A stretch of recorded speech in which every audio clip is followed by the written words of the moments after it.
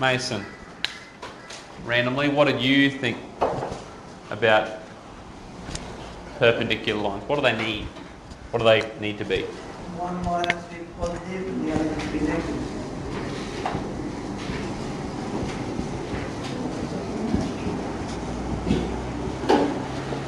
Very good. So you're saying if my regular line, and what do you mean by one's positive, one's negative? What are you talking about?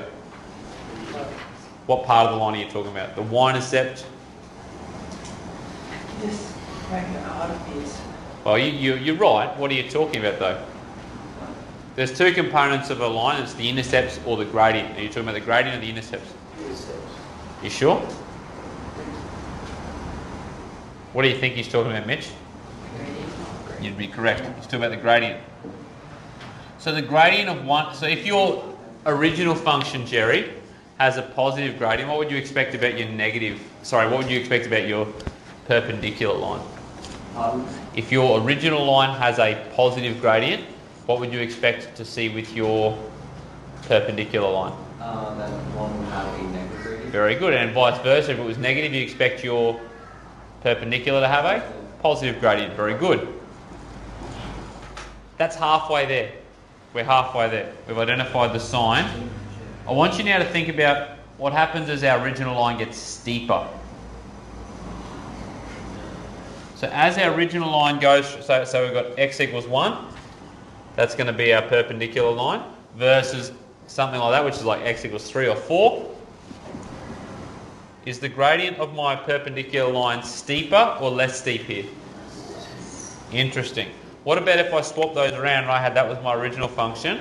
My normal function would be? Is that steeper or less steep? Alright, so there seems to be a relationship between the steepness of the original function and the steepness of our perpendicular line.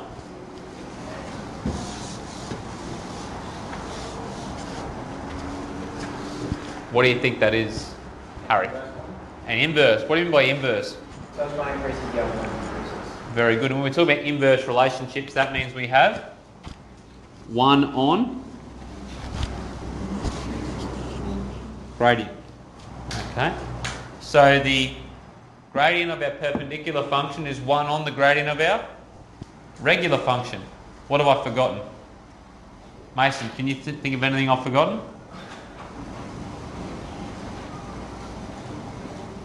If my gradient's 2, my other gradient would be 1 on 2. Is that correct? What have I missed?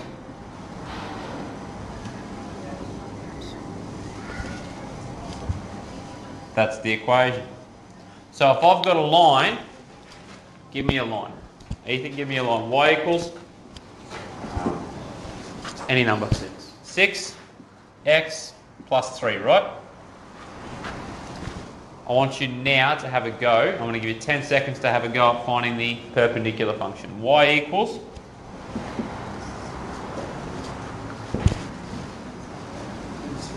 six x minus three. No, plus minus doesn't matter. The c intercept doesn't matter. The c value doesn't matter. So I can make, we'll put this as a minus 3. So all you need to do is identify the gradient.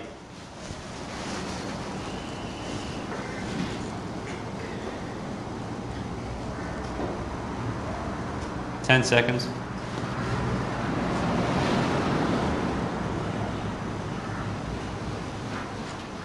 I haven't taught you this, so there's no problem in getting it wrong.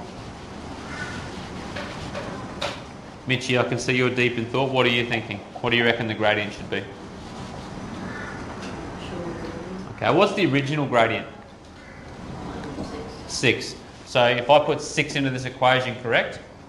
The gradient of my perpendicular line will equal negative one on. So wouldn't that be negative one x on six? Who got that? Anyone? It's good, very impressive. Would I write that as 1x on 6 or not? How would I write that? Negative x on 6. Happy with that? All right, I'm going to give you a couple to practice with. I want you to write down the perpendicular lines to y equals. Can Cody, give me a number. Six. Not 6. Seven. 7x minus 1. Does the c value matter? And that's, so find the line for that and then give me another one, Mason. Y equals? Don't say seven or six. Three. Three. X plus one. No, plus one will do, yep. Off you go. Find me the perpendicular lines for those The equation's always